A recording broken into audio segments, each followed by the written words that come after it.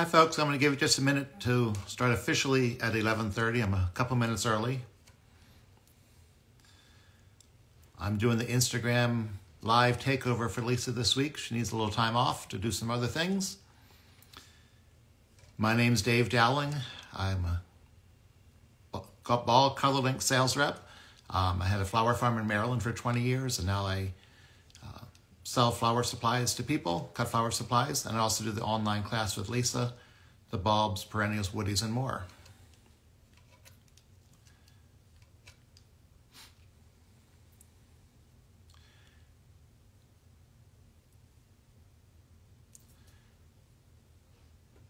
When we get started and you want to ask a question, if you look at the bottom of your screen, um, I think it's just the second icon from the right, there's a little circle with a question mark in it you'll type your question in there, and then I can go ahead and read those questions and answer them once some questions are in there.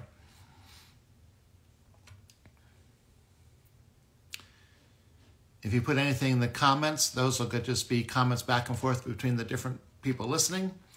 I won't necessarily have time to get to those, so please put any questions in the question bubble, which is the little uh, question bubble with a question mark in it at the bottom right of your screen.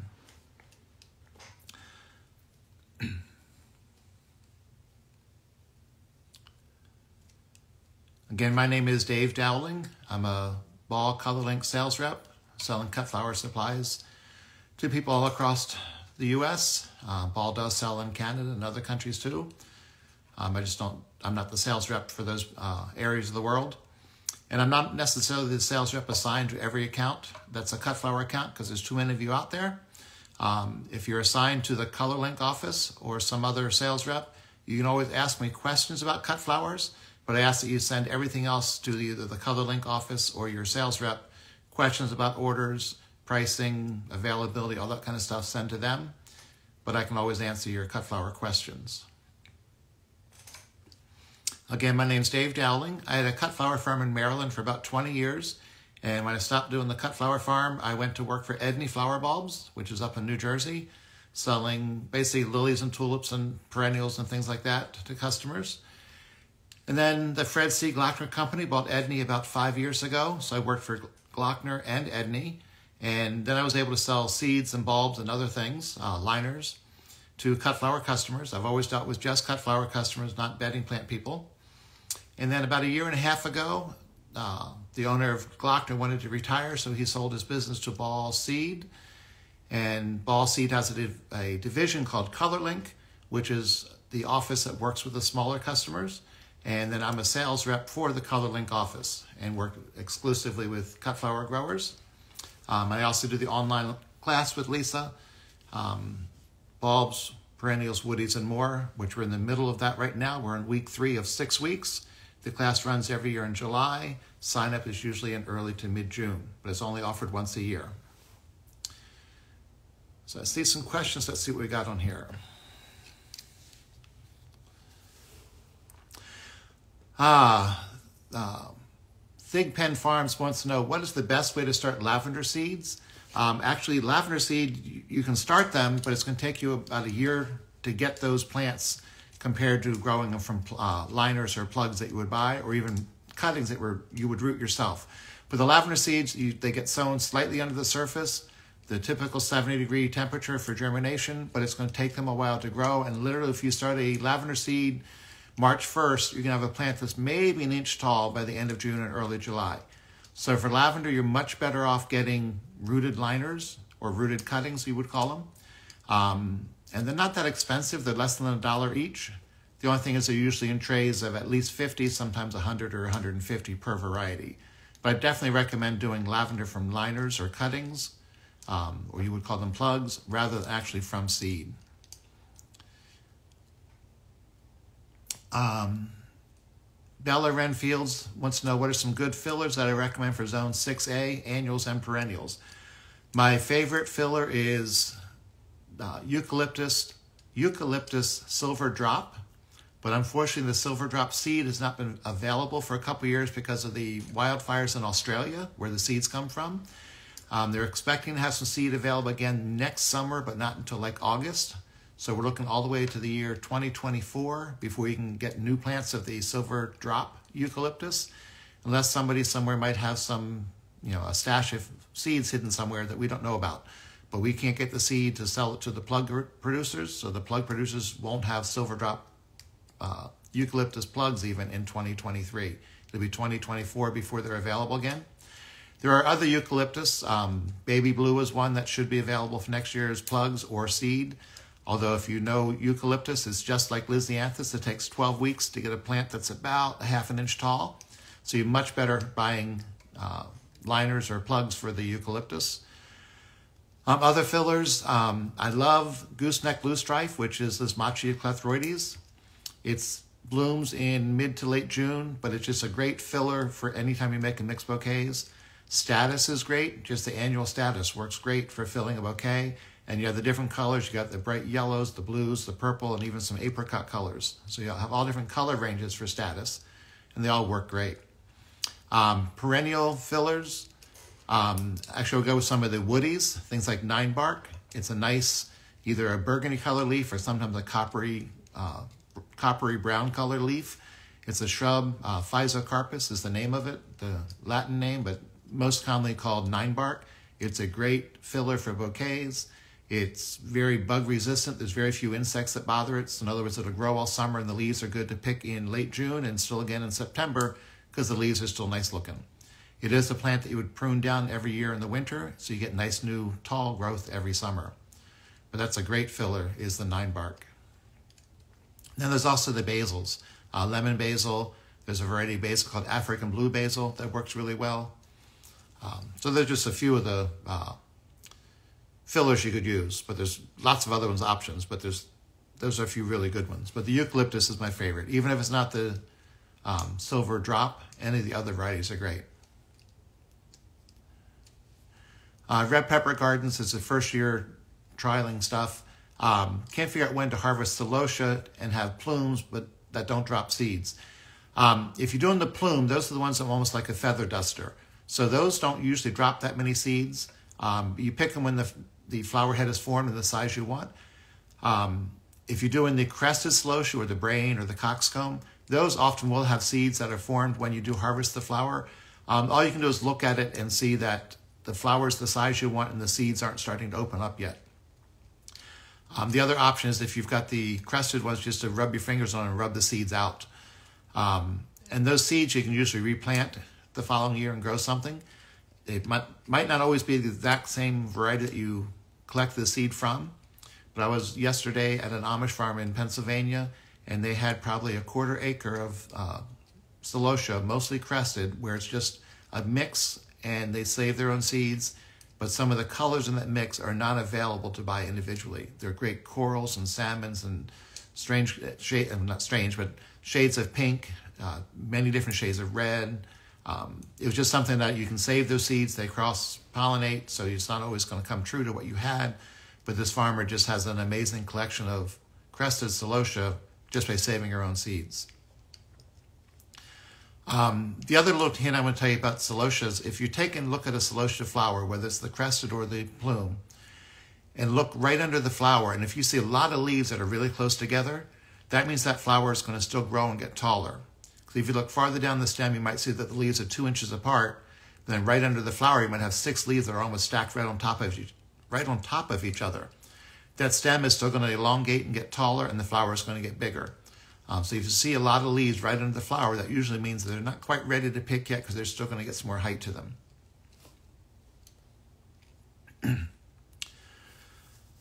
uh, Nancy Joan with soil blocking. Do you need to cover fresh sown seeds with humidity dome or plastic wrap? It all depends on where you have them. Um, I don't think Lisa does humidity domes on hers, but she has them in a grow room that's got high humidity so they don't dry out. If you are growing out on an open bench in a greenhouse, it's going to dry out pretty quick. But soil blocking, the idea is you can always usually check the water on those once a day in the morning and water them so the soil always stays damp. But again, it, a lot depends on the humidity in the room and your airflow. If you have a really windy um, windy area and high temperatures, it's going to dry out on the top faster. But I would do a humidity dome before I do the plastic wrap. Often the plastic wrap actually lays on the soil and then it's just not good to have it touch those um, surface sown seeds. Um, but if you want to use a humidity dome, you can, but also you want to make sure if you have them growing in a sun spot, like going in a, uh, a greenhouse, that you're not making a little mini greenhouse and then cooking, cooking them and getting too hot. But if you're growing under lights, you shouldn't need a humidity dome. Um, Thigpen Farms wants to know organic solutions for vine borers and zucchini and squash. Um, what people do is when you have young plants, you go out and wrap aluminum, aluminum foil around the stems because they do it right at the base of the plant. They can't get through the foil, so they can't get in and lay their eggs and chew up your stems of the zucchini. I know all my zucchini, I was gone for eight days I came back and they're all dead. The, uh, the vine borers and the beetles got them. But I don't know of anything organic unless you were to spray like a neem or an oil right on the, uh, the insects before they lay their eggs in the stems.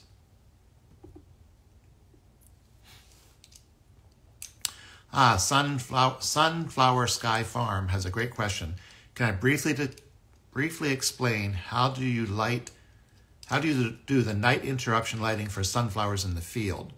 Well, the idea with the night interruption for sunflowers is so that they see two short nights instead of the um, long night that they get later in the season. You would not need to do this for plants that are growing in probably April, May, June, July, August, and even early September. If you're trying to grow plants later in the season or really early in the season, either in a tunnel or the field, because the plants have the longer nights and short days, a lot of the varieties, even though they might be labeled as um, day length neutral, are going to want to try and bloom either shorter stems and also smaller flowers. So the idea is you do a, a night interruption lighting at midnight to 1 a.m. And that way the plant sees the short nights and they think they're getting long days so they grow taller and have bigger flowers if it's early in the fall season, in other words, you're planting sunflowers in early August or to mid-August, you can do the night interruption lighting in the plug trays for the two to two and a half or three weeks before they go out in the field. If you want to do it in the field, you need to run string lights just like you would see at a Christmas tree farm or a Christmas tree stand where it's just a 100 watt, 100 watt bulbs hanging on a string above the plants. It's not enough lights to, for them to grow. It's just lights to interrupt the nighttime. Um, but you only need to do that if you have stuff trying to get them to bloom much later in the season, like in late September and October. Or if you're, um, well, you're talking about growing in the field, but if you're trying to grow sunflowers in a greenhouse in the winter.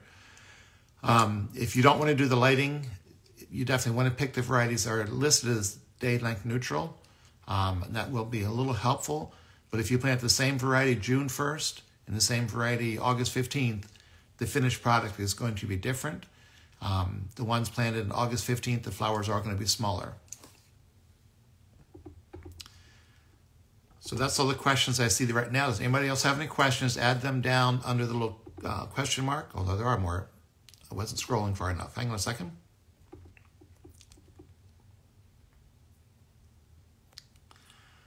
Um, Casablanca Flower Farm wants to know when's the best time to harvest Lisianthus, remove the first bloom. You want to harvest when the second row of flowers start to open. You can either deadhead that first bloom or leave it on there, but it's most likely going to go bad just as the next section of flowers uh, start to bloom on that stem. So you want to harvest them. I always like to harvest when you have two or three of those next set of blooms open. That center first bloom, I would usually deadhead it, or you can take it and use it as a little short, you know, juice glass size flower. Any advice on dealing with tarnished plant bugs and dahlias? Um, there are growers who put the little mesh bags over them. It's kind of like the same little mesh bag that people use for wedding favors, and they tie one around every flower when it's still a bud bud stage. Um, but if you're not going to, uh, other than using something like a neem oil that you spray and actually make contact with the insect, there's not much you can use unless you use a chemical uh, insecticide.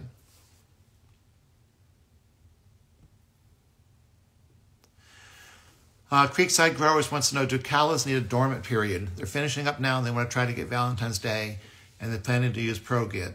ProGib is gibberellic acid, which all new calla bulbs are treated with that. And what that does is cause them to have more flower stems. Untreated bulbs may only have two or three flowers. If it gets treated with the ProGib, you might have eight or nine flowers per, per bulb. Um, they do need a dormant period. If yours are finishing up just now, I would keep them uh, watered and take care of them until the flowers or the leaves die back store them place someplace in the 50 to 60 degree range, If you're growing in crates, they can stay in the crates. You have to dig them, just store them in cardboard boxes. Be gentle with callas. You never want to, you never divide them, and you never want to scratch them and do any damage to the skin. If you want them for Valentine's Day, you want to plan on getting them growing again about 10 weeks before Valentine's Day. So in mid-December, you want to get them growing again in a warm space. They like to be 70 degrees to start growing again. Can be a little cooler once they're up and growing, but they need that 70 degrees to really wake them up. Um, so you'd want to start them growing again in early December to have them ready for Valentine's Day.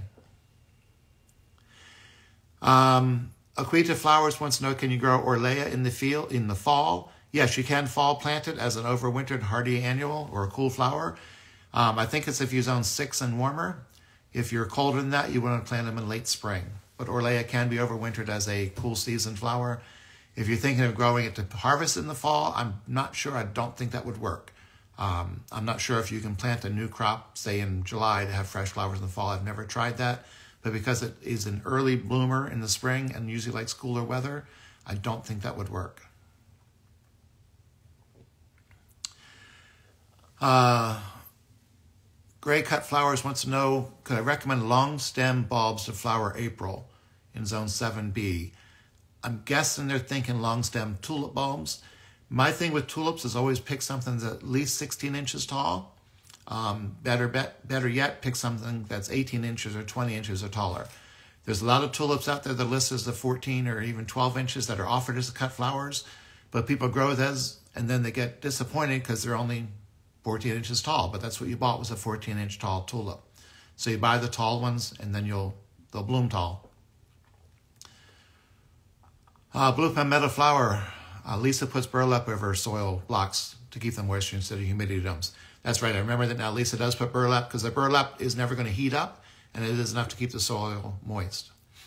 But again, if it's a surface sown soil like a snapdragon, you want to be careful that whatever you're putting over it doesn't disrupt and move around that seed and get stuck to that burlap, and then you pull it out and the seed is gone because it's on the burlap. Uh, Slabtown Petal Pickers uh, planted Veronica last fall, finished up a second flush just recently. Will they have another one this fall? Um, yes, if it's a reblooming perennial like Veronica, it'll keep trying to bloom. So as long as you keep picking those flowers, it'll keep trying to bloom. And it will be tall next year. Um, usually, if it was planted last fall. They should have been full size this year, and they'll still be a tall again next year. Sometimes you get a perennial that you plant a new one in the spring, whether it's from bare root or liners. The first year they may not be quite as tall as they'll be in future years. But if the Veronica was planted last year, they should have been full size this year, and they should still be full size next year. When saving seeds in the freezer, can the desiccant be reused? And can the unused thawed seeds be refrozen? Um, you can reuse that desiccant, although it, it do get a point where it's soaked up all the moisture it can, and then it's not going to do any good anymore. Um, and can unused thawed seeds be refrozen? They can, but sometimes that freezing and thawing and freezing and thaw is not the best thing for them. Um, one thing you always want to be careful is, especially if you're starting seeds in working in a greenhouse, you don't want to take that whole pack of seeds or your whole box of seeds and sit them on the greenhouse bench while you're sowing all the seeds. You want to keep your unplanted seeds out of the sun and don't let them get hot. And another important thing, if you have seeds in the freezer or refrigerator and bring them out, they're going to be cold. And just like a glass of iced tea, they're going to get condensation on them when you open them up. So it's not a good idea to take a, a bag or a package of seeds that are cold, open them up in a really humid area, whether it's a greenhouse or your grow room, and have them get condensation on them because they're going to stick together. And if you don't use them all and don't plant them all, they're going to be damp when you put them away. So, what is the best way to store flower support netting? Um, yeah, that can be tricky because I don't know if you know, support netting is very difficult to break. So if you were to walk over it and trip, you're going to fall. I actually had a, a, customer, I told him, don't walk down this aisle. She walked down there anyway, and she broke her nose when she fell. Um, so you definitely want to get it picked up and put out of the way. Um, some people just ball it up. Um, I used to have a piece of two by two by two at the end of each bed to hold the netting, and we would just roll it up and wrap it up that that like a piece of carpet on a roller on a big tube. Um, one other thing I would recommend is if you're using support netting on your farm, try and have all your beds the same length, so you don't have to try and find okay which piece of netting fits on this 40 foot bed. Um, you keep pulling out the ones that are only 30 feet long. If all your beds are always 50 feet long or 100 feet or some number that's always the same, you don't have to try and find the right drip tape or the right netting to fit that bed. Um, I do know some people have taken the uh, support netting and just shoved it and uh, packed it into the big like lawn trash bags. Um, any way you want to do it works, um, but you want to make sure it's not going to get tangled up. So that's why if you can roll it up on something, whether it's a piece of two by two or two by four or something like that, it's much better than just bundling it up and putting it in a corner of the barn. Inexpensive, quick growing foliages. Um, the woody shrubs that are used as foliage, most of those will grow a three foot stem every year. Uh, the nine bark, um, smoke bush, they grow big. Um, eucalyptus will grow, it's not fast growing, but if you plant it in April or May, you're going to be able to harvest it in August and September. Um, and any of the basils, they're fast growing. Um, the lemon basil, things like that. But there's nothing that's going to be faster than like at least eight or 10 weeks. Um, same like flowers, that people think, oh, I need flowers in three weeks, what can I plant? Well, you should have thought two months ago and thought about what you can plant because there's nothing that grows that fast. Um, John's asking, when harvesting, if it says to cut at the base of the stem, does that mean partway down where another stem is forming, partway down, or all the way to the ground? Um, it depends on the crop. Something like an allium, it's not going to rebloom, so you can cut it off right at the ground, and you're not going to hurt the plant because you're not cutting any leaves with an allium. Um, but something like a zinnia or a snapdragon that you might want to have it branch out and bloom again, you don't want to pick that all the way to the ground. You want to leave at least a few leaves at the base so it has a, um, a place for a new sprout to come out and for it to flush out a new batch of flowers. So it's hard to say, you know, cut at the base or cut two inches up because every variety is a little bit different. But a general rule, if you want it to grow out and bloom again, you leave a little short stump with two to four leaves so it'll grow out two to four more stems. Um, Trad wants to know if there's anywhere to get Ruscus. Ruscus is a tough one. Um, if you send me an email, I can check later and see if Ball carries it or any of our suppliers do. Um, that's the uh, usually Italian Ruscus, the green filler. It's just one of those things that it's not easy to find as a plant. Uh, Blair House Blooms wants to know what's the minimum dormancy period for ranunculus before we can force them for resprouting.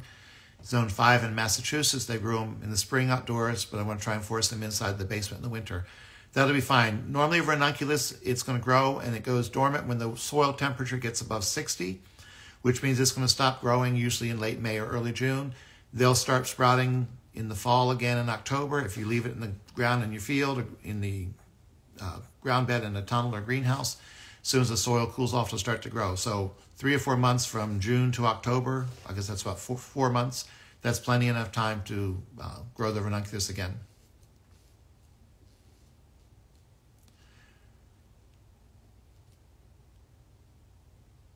Oh, creatively, Candace. Oh, here we go. Um,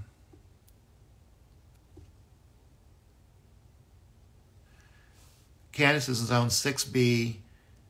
Do you think in that don't have a greenhouse, only hoops and covers, should I start my ranunculus in the fall or very early spring?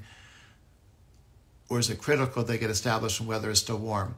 Um, ranunculus, you don't want it when it's still warm because the soil needs to be at least 60 degrees or colder for them to grow. So even if you were to pre-sprout them and try and plant them in a tunnel that's still you know, a warm sunny days and the soil's 65 or 70, they're not going to grow. They're just going to struggle and think it's time to go dormant again. Um, but if you're going in hoops and cover in zone 6B, if you've got a, a caterpillar tunnel, you can plant them in the fall. Um, not just row cover laying on the bed, but if you have a caterpillar tunnel, you could grow the ranunculus in a um, caterpillar tunnel planted outside in zone 6B. Much colder than that, you'd want to wait and plant them in really late winter, which is usually, I like to say, get them out and growing by March 1st, which means you've pre-soaked them in late January, have them sprouted and growing, and then you plant them out around March 1st into a tunnel up in the colder areas. Uh, Jennie Love, if you search Love and Fresh Flowers ranunculus hoops, she has a um, blog post she did three or four years ago that has a lot of good information about growing in low tunnels, anemones and ranunculus. Uh, Rewild Flower Farm wants to know how to manage perennials after the harvest. Should they get a hard chop and regrow foliage, or should we fertilize them, divide them, etc.? Every perennial is different. That's what makes them difficult. Um, something like the Monarda is going to bloom once, no matter what you do. You can't make it bloom a second time. Um, and you should never chop the foliage hard, is what you're say here. Um, they don't get a hard trim because they need those that foliage to regenerate the root for next year. There are some uh, perennials that will rebloom, things like phlox reblooms. Um, I'm trying to think of some other things that rebloom off the top of my head, but things like yarrow, um, the cottage yarrow that will sometimes rebloom in the fall. The yellow hard-stemmed yarrow does not rebloom again, so it's a one-time pick. But every perennial is a little bit different, so it's hard to say, um, you know, cut them all back or don't cut them back. Um, things like uh, gooseneck loosestrife, when you pick that, it'll branch out and put out new leaves, but it's not going to make new flowers. So it'll have flowers once a year. And should you fertilize them? Yes, you should definitely fertilize perennials because you have them in there forever you know, for many, many years. And I like to say they've grown the roots out two feet, they've eaten everything they can reach, and you need to give them more food. So don't count on perennials being good year after year if you don't give them some kind of fertilizer, whether it's a really good thick, heavy coat or heavy layer of compost or, you know, commercial fertilizer or fish emulsion, organic fertilizer, just give them something. And then as far as dividing perennials, that's another tough one. You know, things like peonies never needed to be divided. Um, most perennials, you can let them keep growing if you're doing cut flowers and not divide them unless you want to make more plants. Um, I can't think of any off the top of my head that you have to divide. when would be the safest time to start fall planting in Zone 9B in New Orleans? If you're thinking fall planting as in the cold, cool season, um, cool flowers, the hardy annuals, you want to do it around your uh, a few weeks before your last your first frost date. So if your first frost date in New Orleans might be December 1st, come about four weeks and start planting then, so early November. Um, but if you're talking about fall planting, like a perennial liner that's just going to grow a little bit in the fall and for next year, you can start planting perennials in pretty much any zone now in August, September, and October.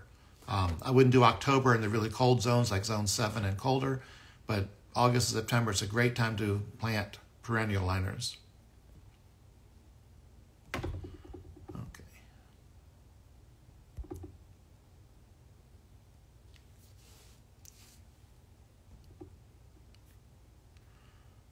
Don't see any other questions right now that are new. So I'm going to erase any that I see.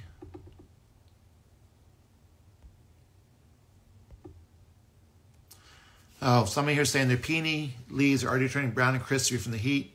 Have I lost the plants? No, you haven't lost the plants, but um, August, late July and August is when those plants are putting out new or forming the new eyes for next year.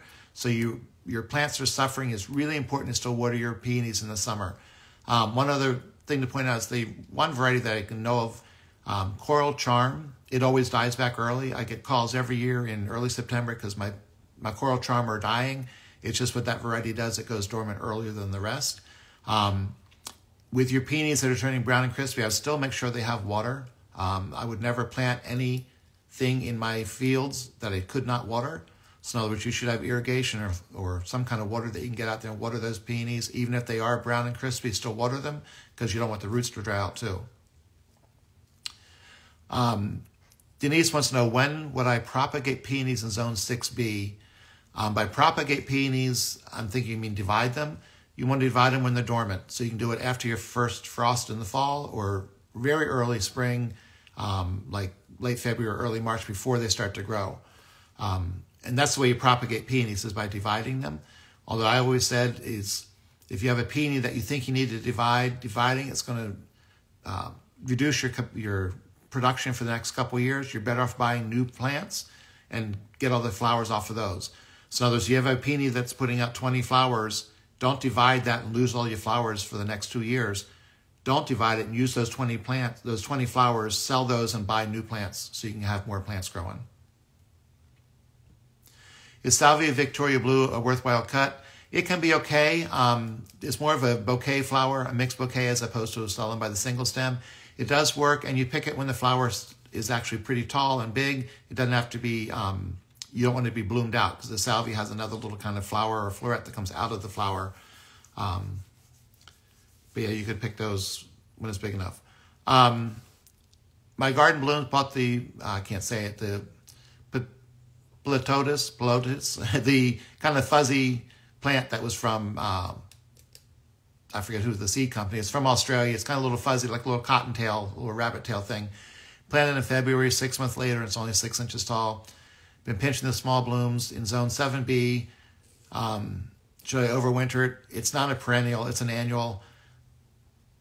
I know we sell the seed, and the um, Benary Seed Company pushes it as a cut flower, but I've never seen anybody yet that grew it that looked like the ones that they show as samples. So um, I think it's a good marketing on their part, but I don't really like it as a cut flower because I've never had it grow well. I tried it, and I've never seen anybody else that does really well with it. But it will not overwinter. It's a tender annual. Um, somebody in Phoenix wants to oversummer the ranunculus corms. Um, you can do that if you grow something with very small roots over it. So in other words, you have ranunculus in the beds, grow zinnias or celosia, definitely not uh, sunflowers. And then when you're finished with those, you don't want to pull those old zinnias or celosias up. You want to cut them off so you don't disturb the soil. Um, they say they get no rain, so this should have been watering. No, you don't need to water the ranunculus that are dormant in the soil for the summer. They don't mind being dry. Um, the only reason you would water is if you tried to grow something else over it, like the zinnias or the celosia. Um, but the ranunculus will start to grow again in usually late September, early October. Then you want to give them a good watering in mid-September. It'll rehydrate the roots and they'll start to grow. Um, any suggestions for voles? You know, stray cats, hungry cats is what you need. There is also a product called Mole Max that's made from the, uh, I can't think the name of the plant, castor bean plant, and that can be helpful for moles and voles, so you can get some of that. And voles are just like rabbits. They multiply like crazy. You need to get rid of them because they will take over. Uh, can Should peonies be planted before your first fall frost or can be planted after? You can plant them anytime once your soil's cool. The worst thing you want to do is take a peony that's been dug, put it back in the field, and have it start to grow in, in uh, mid-September. So you can plant them at your frost or soon after. You don't. It's not recommended to plant them once it's really cold, like in December or January. But if you know you got a really good price on someone's sale, go ahead and do it.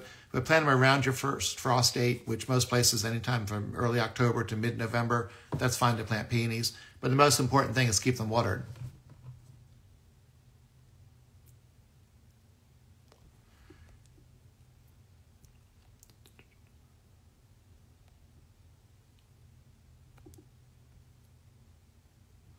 Yeah, it doesn't keep the questions in order, so this is weird the way they come up. Um, I don't see any questions right now, and we're already at 12 o'clock, so that went by really fast. Um, I don't see any more questions I can do right now. We're supposed to do this for half an hour, so I think we're done. Um, I'll be back again on three weeks from today, doing the Instagram takeover again at 11:30 Eastern time. Like I said, I am a um, Ball ColorLink sales rep. If anybody does not have a ball account and you want to get some get one set up, just call the color link office. The phone number is 800-686-7380. And if uh, you're interested in my class for next year, you can find information about that at the gardenersworkshop.com webpage. And until three weeks from now, I'll see you again then. Um, other people are taking over Lisa's class Instagram for the next two weeks. Um, so they'll see you then.